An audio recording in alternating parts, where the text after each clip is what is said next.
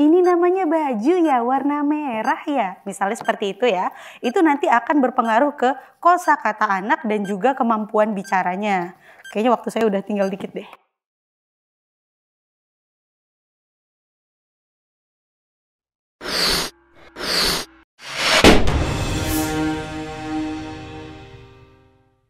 Hari ini aku ditantang sama para puan untuk dandanin bayi ini dari mulai pakai baju, kepang rambut, dan bedong dalam satu menit. Wish me luck, wish me luck. Sebelumnya aku mau kasih fun fact. Saking nggak bolehnya anak cowok megang boneka, main boneka waktu kecil, banyak sekali bapak-bapak yang kagok loh waktu uh, makein bayinya baju.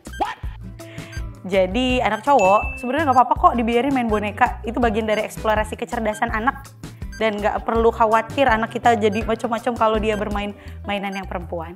Oh ya, buat para ibu-ibu baru nih yang baru belajar makain baju anak, makain bedong anak, ketika kita lagi ngebedongin anak, itu kontak mata itu sangat diperlukan.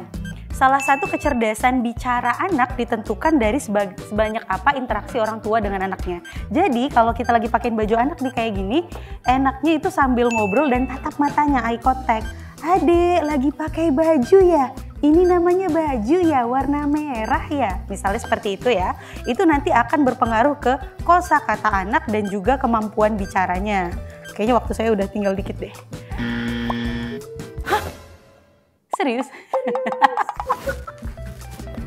Kebanyakan ngobrol ya? Ternyata waktunya habis, aku nggak bisa menyelesaikan ini, cuman cuma pakai baju dan belum kepang rambut dan belum pakai popok. Tapi gak apa-apa ya, kira-kira sudah dapat apa tips-tipsnya untuk memakaikan baju anak dan apa manfaatnya makain baju anak sambil ngobrol.